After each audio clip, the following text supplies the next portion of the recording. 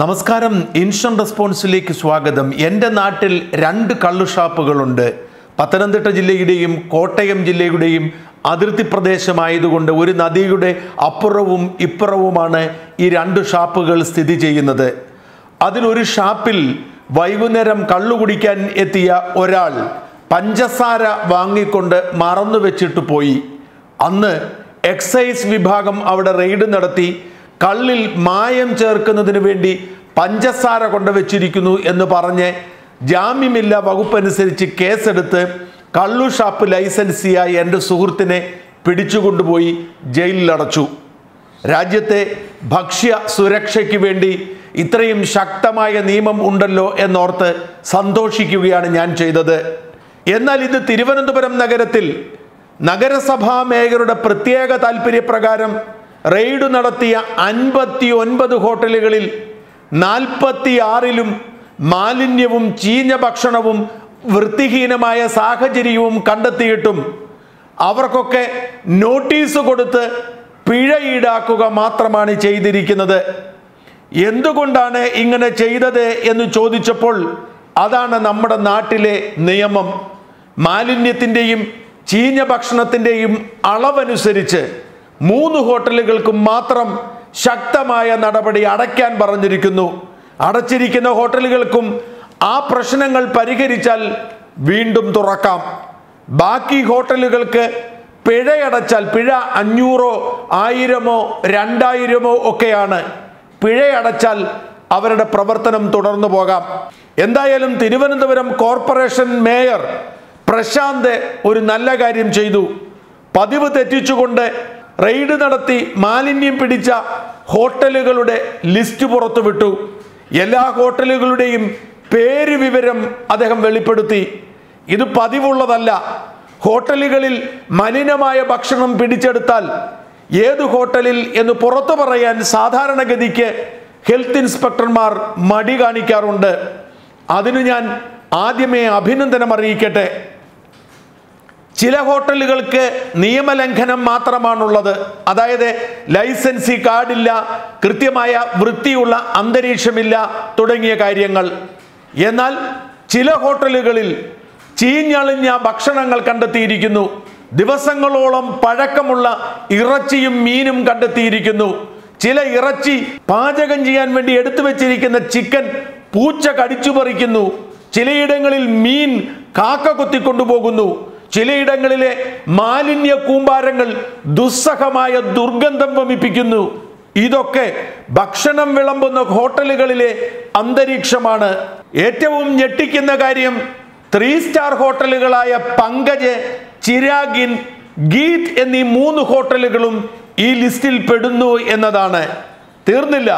തിരുവനന്തപുരം നഗരത്തിലെ ഭക്ഷണത്തിൽ ഏറ്റവും പേരുള്ള ബുഹാരി എന്ന ഹോട്ടൽ അതായത് തിരുവനന്തപുരം അട്ടലക്കുളങ്ങരയിലുള്ള ബുഹാരി സംസം എന്ന പാളയത്തെ ഹോട്ടൽ എം ആർ എ എന്ന പാളയത്തെ ഹോട്ടൽ ആര്യാസ് ഹോട്ടൽ അങ്ങനെ നഗരത്തിൽ ഏറ്റവും നല്ല ഭക്ഷണം വിളമ്പുന്നു എന്ന് അവകാശപ്പെടുന്ന ഏറ്റവും അധികം തിരക്കുള്ള പല ഹോട്ടലുകളും ഈ ലിസ്റ്റിൽപ്പെട്ടിട്ടുണ്ട് ഈ ഹോട്ടലുകളുടെ സമ്പൂർണ ലിസ്റ്റ് മറുനാടൻ പ്രസിദ്ധീകരിച്ചിട്ടുണ്ട്. മറുനാടൻ ടി വിയിൽ പ്രത്യേക ബുള്ളറ്റിനിലും കൊടുത്തിട്ടുണ്ട്. അതുകൊണ്ട് ഞാൻ ഇതിന് വിശദാംശങ്ങളിലേക്ക് കടക്കുന്നില്ല. എന്റെ പ്രശ്നം ഇങ്ങനെ ഭക്ഷണം വിളമ്പുന്ന ഈ ഹോട്ടൽ അധികൃതരിൽ നിന്നും പിഴ ഈടാക്കിയാൽ മാത്രം മതിയോ? ഇവർ ചെയ്തിരിക്കുന്നത് കഠിനമായ ശിക്ഷ അർഹിക്കുന്ന ക്രിമിനൽ കുറ്റമല്ലേ? ഒരു കള്ളുഷാപ്പിൽ രണ്ട് കിലോ പഞ്ചസാര കാണപ്പെട്ടാൽ കള്ളുഷാപ്പ് നടത്തിപ്പുകാരനെ ജയിലിലടയ്ക്കാൻ നിയമമുണ്ടെങ്കിൽ എന്തുകൊണ്ടാണ് നിരന്തരമായി വിഷം വിളമ്പുന്ന ക്യാൻസർ വരാൻ ഇടയുള്ള തരത്തിൽ പഴകിയ ഭക്ഷണം വിളമ്പുന്ന ഹോട്ടൽ ഉടമകളെ ജയിലിലടയ്ക്കാൻ നിയമമില്ല? ഏറ്റവും വലിയ പാതകമായി കരുതേണ്ടത് ഈ വിഷം വിളമ്പൽ തന്നെയാണ്. വിശന്ന് കയറി ഒരാൾ ഹോട്ടലിൽ ചെല്ലുമ്പോൾ അവന്റെ വയറ് നിറയ്ക്കാനും അവന്റെ ആരോഗ്യം സംരക്ഷിക്കാനും ഭക്ഷണം ചോദിക്കുമ്പോൾ അതിന് കാശണ്ണി കൊടുക്കുമ്പോൾ മൂന്നിരട്ടിയും നാലിരട്ടിയും വില വാങ്ങുമ്പോൾ വിഷം കലരാത്ത മാലിന്യം കലരാത്ത ശുദ്ധമായ ഭക്ഷണം കൊടുക്കണമെന്ന മര്യാദ പോലുമില്ലാത്ത ഇവന്മാർ ഇടിവെട്ടേറ്റ് ചത്താൽ പോലും കുറ്റം പറയേണ്ടതില്ല. ഏറ്റവും വലിയ പാതകമായി തന്നെ അത് കരുതണം. ഭക്ഷണത്തിന് അമിതമായ വില ഈടാക്കുന്നിടത്ത് തുടങ്ങുകയാണ് ഇത്തരക്കാരുടെ ചതിയും വഞ്ചനയും. അവർ അമിതമായ ലാഭമുണ്ടാക്കുന്നതിന് വേണ്ടി മാർക്കറ്റുകളിൽ ചെന്ന് പഴയ ചീഞ്ഞളിഞ്ഞ പച്ചക്കറികൾ മേടിച്ചുകൊണ്ടാണ് പലപ്പോഴും ഭക്ഷണം ഉണ്ടാക്കി കൊടുക്കുന്നത്. അതിനും പുറമെ വൃത്തിഹീനമായ അന്തരീക്ഷത്തിൽ ഭക്ഷണമുണ്ടാക്കി വിളമ്പി രോഗം വിതറുന്ന ഇത്തരക്കാരെ നിലയ്ക്ക് നിർത്താൻ നിയമമില്ലെങ്കിൽ നിയമം കൊണ്ടുവന്നേ മതിയാവൂ.